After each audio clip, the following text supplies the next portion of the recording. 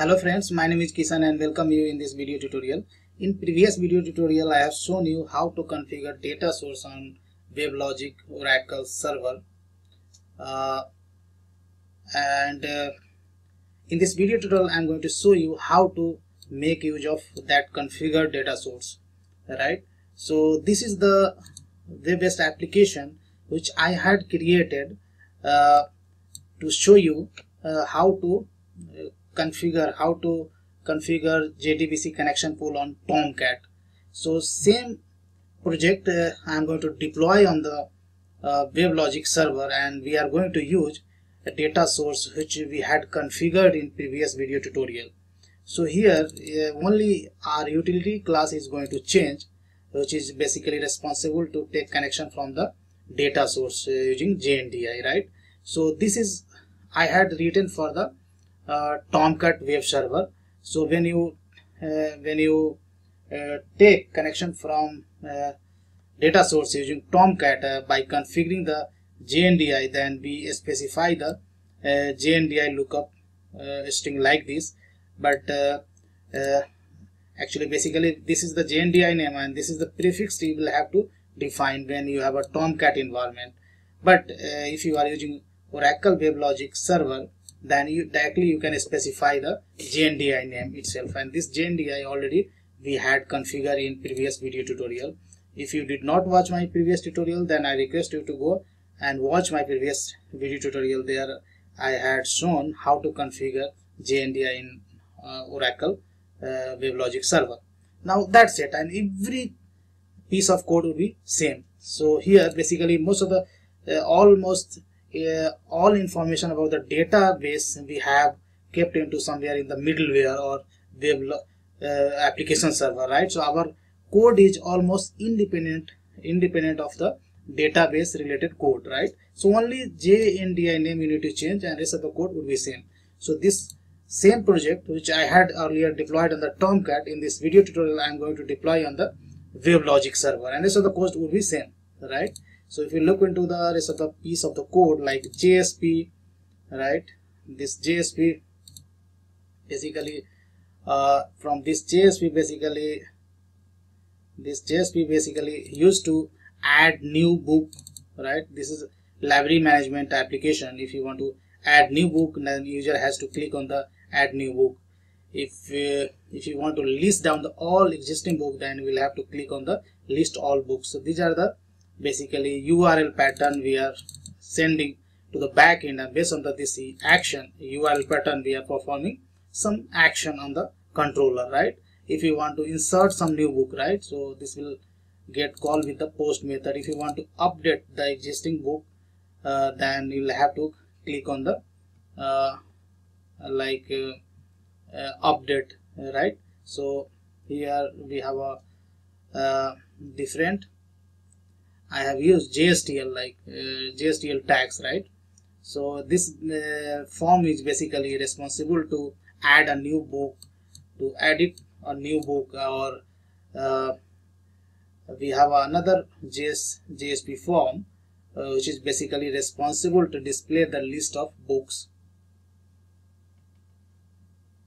And we have another book is called booklist.jsp and this JSP basically responsible to uh, display the list of books on the UI right? And uh, if he, any user wants to edit some existing book uh, data then user can click on the uh, edit button. Or if you want to user deletes some existing book then user can delete uh, book information. And uh, just we are taking extracting the book ID and we are sending as a query parameter. When we want to delete we want to edit or delete the uh, book information from the UI.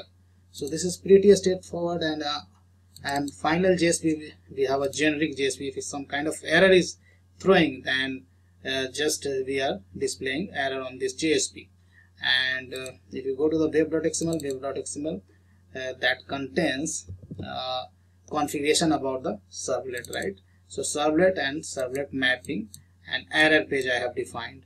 And first of all we have a controller when user submits uh, these JSPs right? These two JSP then a request goes to the controller and here uh, from do post I'm making call to the do get and here just I'm correcting the action. Uh, action may be a new insert delete edit update and if there is no action is matching then just we are calling list books. So this will fetch all list of the books from the database right? And we have a different uh, methods right? Different methods we are, these are the private methods we are calling from the use cases. So switch switch cases we have used.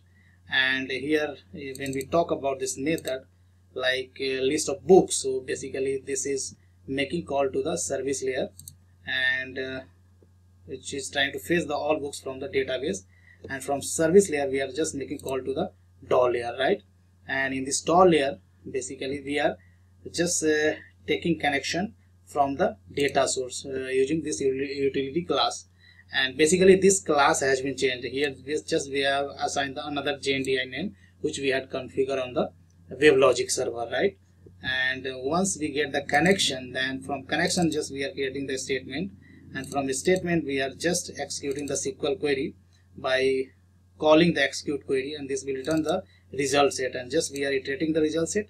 We are just fetching value for every row and we are calling the book uh, entity constructor and we are setting these values and we are adding every book in the list and same list is returning to the client. So that's all. I have a one method is uh, one entity class. It's called book which contains fields which is matching with the database table which is uh, in our database jdbcdb so so for every column for every property represents one column in the database. So here I have declared few constructor uh, which is required for my business logic right? And uh, we have a different layer controller then from controller just we are making call to the service layer and from service layer we are making call to, to the DAO layer and DAO layer interact with the database so this is pretty simple example and now I'm going to deploy this project on the uh, WebLogic server and uh, I'm going to put a debug point uh, in the utility class I'll see uh, uh, whether we are able to retrieve the data source correctly or not. So right click over the project and debug as and debug on the server. I'm going to select and uh, here server is already in debug mode. So what I'll do, I'll stop the server first of all. I'm going to stop the server and once server gets stopped then I'll redeploy the project on the WebLogic server. WebLogic server is stopped. Now let's redeploy this. So I would say debug as and debug on the server and we have a this Oracle server. Now click on the next, next, next and then finally click on the finish and wait for the some time. This project is going to deploy on the WebLogic server now now we have kept the debug point so control will uh, when control will reach here then this will wait for our action so you can see now uh, uh, control reaches in the controller. And uh, let's press F6 now you can see the action. Action is just empty string. So this will go in the default case. And from we are calling list books. So that came into the uh, now DAO layer right? I didn't uh, put debug point to the service layer so directly that came into the uh, DAO layer and if you press F6 then we are getting the context now. Now you can see we are getting as a null. So what's the issue? Let's check out.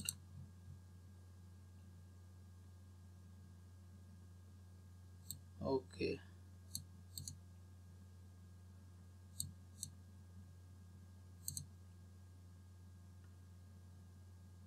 So I think this is taking previous deployed jar so what I'll do I'll stop the server so that jar is not updated on the server. That's why that is showing me the previous. So let's remove this project from the server and let's try to redeploy it. So what I'll do I'll try to redeploy. Again debug mode. Let's try to redeploy it so that is taking that is uh, server is still picking up the old uh, war that's the reason. So I'm again try to deploy this one. So let's see what happens. Hello friends i have redeployed the project again and there was some mistake. I was giving the i mean jndi name wrong. So we had configured jndi with this name. So i have corrected this one and uh, now uh, when i redeploying this project then control is waiting over here. So press f6 now action is coming with empty. So this will go to the default uh, use cases and then control now control will go to the service layer. And from service we are just calling to the DAO layer and DAO layer trying to get the connection using JNDI so now you can see we are getting the uh, I mean data source right? That means uh, this JNDI lookup was successful and this data source from this data source we are getting the connection successfully. Now we got the statement and we got the previous statement. Now try to retrieve the book information from the database. So this will retrieve every row from the database. Now press F8 to cancel all rows and here you can see we are able to display the result on the UI so this way I mean data source is working right? So I I hope you understood how uh, I mean uh, JDBC connection pool works in the WebLogic server right? So this is the WebLogic administrator console. So here earlier I had created a data source and same data source I am utilizing in my code. And successfully I am able to uh,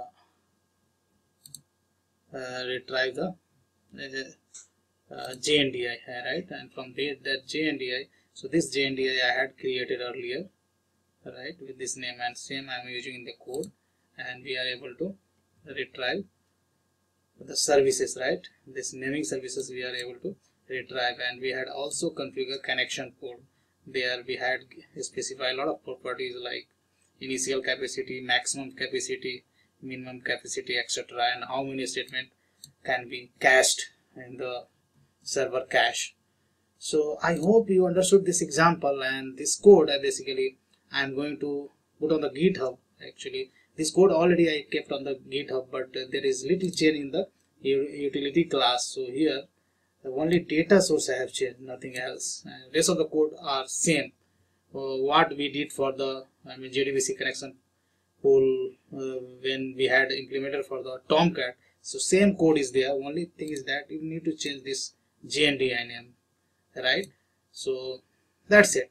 And uh, our code is almost uh, this database independent code right? Database information we haven't hard coded in the basically source code. Those information is already uh, mentioned on the uh, application server right? And our basically this uh, JNDI is having all information about the database right? What's the driver name database URL username password etc and this JNDI is basically using the connection.